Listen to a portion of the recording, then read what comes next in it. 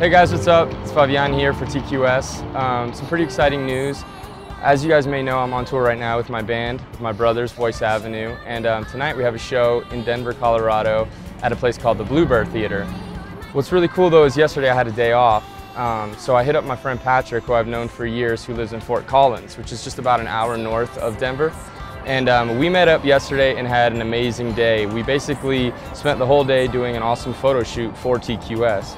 Um, we hired a bunch of really cool models. We had a stylist, hair and makeup, and the day was amazing. It went perfect. Um, if you guys have never been to Denver or to Fort Collins, you should check it out because there was a lot of really beautiful locations, a lot of really cool sights, um, beautiful nature.